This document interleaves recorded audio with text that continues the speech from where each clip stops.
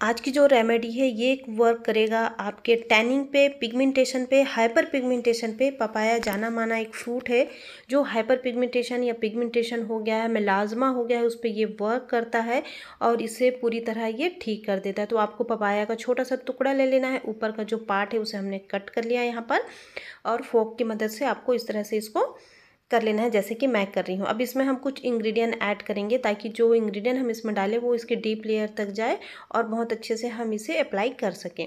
तो first ingredient आपको ले लेना है कॉफ़ी कॉफ़ी क्या करता है? कॉफ़ी में कैफेन होता है जो हमारी स्किन को ब्राइटनिंग करता है टैनिंग को ख़त्म करता है, दाग धब्बे को रिमूव करता है। तो यहाँ पर हाफ़ टी स्पून के लगभग मैंने कॉफ़ी ले लिया है।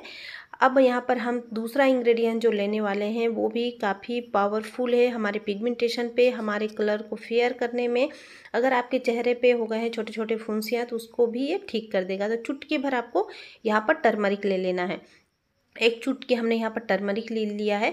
अब इसे अच्छे से हम इसके अंदर पेनिट्रेट होने देंगे तो आप इसे या तो फिंगर की मदद से दबा के भी पेनिट्रेट कर सकते हैं, या जब हम मसाज करेंगे तो ये वैसे भी अंदर चला जाएगा। तो इसे आप अभी मैं आपको हाथों पे करके दिखा रही हूँ बट इस पैक को आप अपने फेस पे लगा सकते हैं, क्योंकि मैंने दूसरा वीडियो शूट किया हुआ है तो फेस पे मेरा ऑलरेडी फेस पैक लगा हुआ है, इसलिए मैं इसे आपको हाथों पे लगा के दिखा रही हूँ।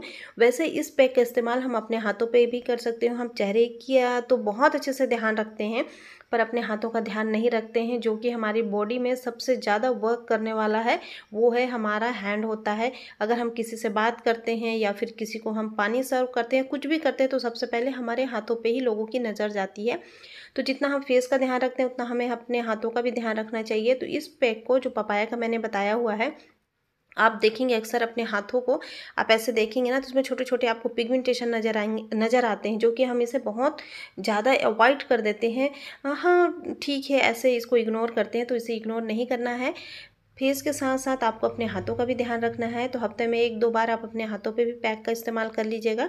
तो जो पपाया का पैक है ना, अगर आपके हाथों पे भी टैनिंग आ गई है, रिंकल्स आ गई है, उसे ये रिमूव कर देगा, यंग रखेगा, टैनिंग को पूरी तरह से ख़त्म कर देगा। तो पपाया का जो इस पैक को आप फेस पर भी अप्लाई कर सकते हैं, अपने हाथों पर भी अप्लाई कर सकते हैं। एक बार ज़रूर अप्लाई करके देखिएगा, रिज़ल्ट बहुत अच्छा आएगा। और पपाया अगर आप एक पपीता ले लेते हैं तो आपको पूरे वीक चल जाएँगे और इस पैक को आपको एवरी लगाना है। चाहे वो हाथ में हो, चाहे फेस में एवरी डे वन वीक का आप चैलेंज लेके देखिए, आपको रिज़ल्ट बहुत अच्छा मिलेगा। तो चलिए मैं आपको दिखाती हूँ वॉश करके कि मेरा जो हाथ है हैंड है वो कितना और किस हद तक क्लियर हुआ तो आप देख रहे होंगे। यहाँ पर जब जैसे ही हम मुट्ठी बंद करते हैं ना तो टैनिंग नज़र आती छोटे छोटे वो काले काले से छीटे जो तेल के या फिर हम रोटी बनाते हैं, वो उस टाइम पे जो जले हुए थे, वो नज़र आते उससे क्लियर हो जाएँगे। तो ये थे हमारा आज का छोटा सा वीडियो